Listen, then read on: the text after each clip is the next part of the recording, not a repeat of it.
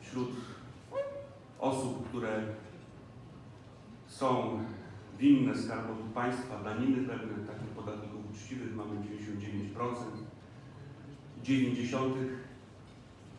No i mamy jakiś niewielki odsetek, niewielką grupę tych, którzy są oszustami. I tutaj drugi nasz cel to jest nieprzyjednana walka z oszustami, tymi, którzy chcą unikać płacenia daniny publicznej, Oczywiście to często przez nich rodzą się różnego rodzaju pomysły, jeśli chodzi o uszczelnianie podatków i niejednokrotnie y, rodzi to pewne obciążenia po stronie tych uczciwych przedsiębiorców, tych mm, podatników, którzy no, dowiadują się o jakichś dodatkowych utrudnieniach, dodatkowych obciążeniach.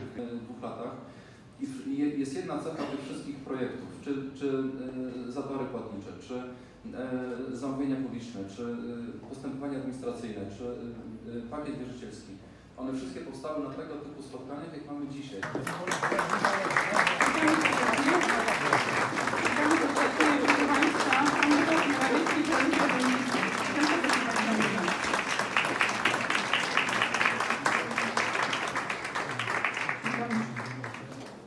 Również pozostałych gości przybyłych z panem premierem. Szanowny Panie Wojewodo, e, drodzy zaczni samorządowcy pięknej wielkopolskiej ziemi oraz najważniejsze osoby w tym pięknym dniu, e, przedsiębiorcy. Sól polskiej ziemi wielkopolskiej nie przesadzę, ponieważ tutaj jedno z najniższych poziomów bezrobocia e, i to zasługa właśnie naszych przedsiębiorców.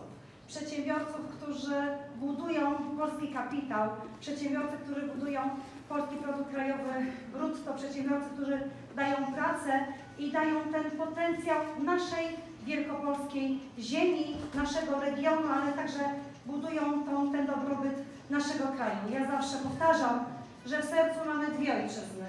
Jedną tą Rzeczpospolitą Polską, dla której pracujemy, ale drugą tą naszą, w której się urodziliśmy, której się wychowujemy, w której pracujemy, w której budujemy swoją przyszłość i budujemy ten potencjał.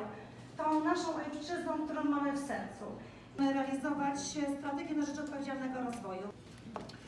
I takie firmy miały bardzo często w Polsce podgórkę, bo na dobrą sprawę dużo łatwiej jest w Warszawie, przepraszam, że tak mówię, w umowny sposób.